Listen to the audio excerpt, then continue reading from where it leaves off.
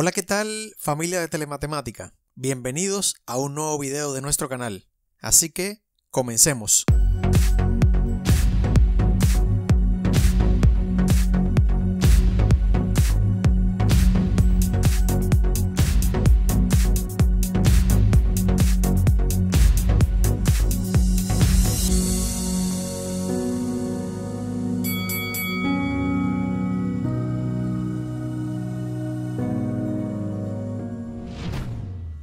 Para iniciar, recordaremos que la tasa de variación media de una función f en un intervalo cerrado a, b y que geométricamente es el valor de la pendiente de la recta secante, se define como el cociente entre la diferencia de la función evaluada en los valores de los extremos del intervalo y la diferencia entre esos valores. Muy bien, una vez recordada la fórmula que vamos a estar utilizando, Veamos una primera actividad. Calcula la tasa de variación media de las siguientes funciones en el intervalo cerrado 0,3. Literal A. La función f en x es igual a x al cuadrado más 1, que geométricamente es una parábola que abre hacia arriba y su vértice se encuentra en las coordenadas 0.1. Teniendo en cuenta la fórmula, reemplazamos los valores del intervalo y nos quedaría... Ahora, debemos calcular el valor de la función evaluada en 3, que sería reemplazarlo en la expresión de esta y resolver las operaciones. Y obtenemos que es 10. A continuación, realizamos el mismo procedimiento para el valor 0 y obtenemos el valor 1. Luego, Reemplazando estos dos resultados en la fórmula tenemos donde resolviendo las operaciones obtenemos y simplificando llegamos a que la tasa de variación media de la función f en x es igual a x al cuadrado más 1 en el intervalo cerrado 0,3 es 3. Literal B. La función f en x es igual a 6, que geométricamente es una función constante, o sea, una recta paralela al eje X y corta el eje Y en el valor 6 o lo que es lo mismo en el punto 0.6. Luego, teniendo en cuenta la fórmula, reemplazamos los valores del intervalo. Ahora, calculando el valor de la función evaluada en 3, obtenemos 6, ya que es una función constante y de forma similar ocurre para el valor 0, donde obtenemos como resultado 6 también. Luego, reemplazando estos dos valores en la fórmula tenemos, donde resolviendo las operaciones obtenemos y resolviendo el cociente llegamos a que la tasa de variación media de la función f en x es igual a 6 en el intervalo cerrado 0,3 es 0.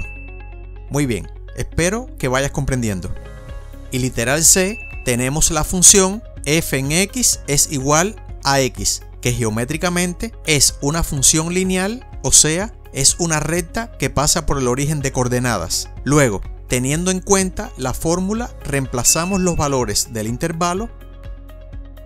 Ahora, calculando el valor de la función evaluada en 3, obtenemos como resultado 3. Y de forma similar, el valor de la función evaluada en 0, obtenemos el valor 0.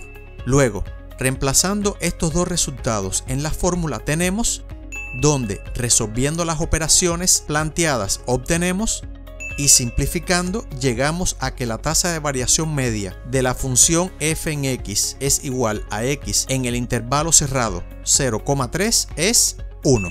Muy bien, veamos una segunda actividad haya la tasa de variación media de la función representada para los intervalos 1,3 y 4,6 respectivamente. En este caso tenemos una función dada por su gráfico, así que comencemos por el primer intervalo 1,3.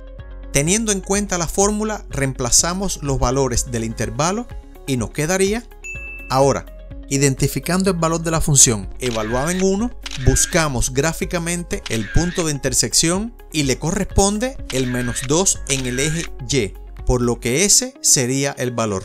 Y de forma similar, Identificando el valor de la función evaluada en 3, buscamos gráficamente el punto de intersección y le corresponde el 3 en el eje Y, por lo que ese sería el valor.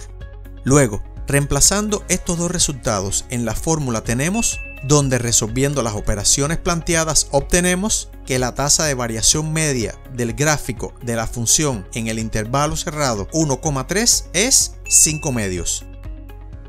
Para el segundo intervalo 4,6 realizamos un procedimiento similar. Luego, reemplazamos los valores del intervalo en la fórmula y nos quedaría Ahora, identificando el valor de la función evaluada en 4, buscamos gráficamente el punto de intersección y le corresponde el 2 en el eje Y, por lo que ese sería el valor. Y de forma similar, Identificando el valor de la función evaluada en 6, buscamos gráficamente el punto de intersección y le corresponde también el 2 en el eje Y, por lo que ese sería el valor.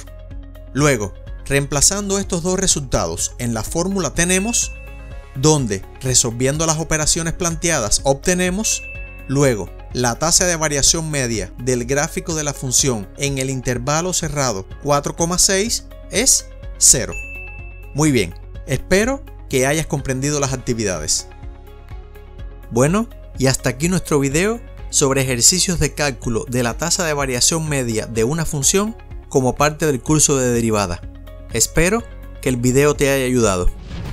Si te gustó el video te invito a que le des un like, a que te suscribas si no lo has hecho aún, y actives las notificaciones para que puedas ver los nuevos temas que estrenaremos que nos dejes tus comentarios y que lo compartas con tus amigos. Hasta el próximo video.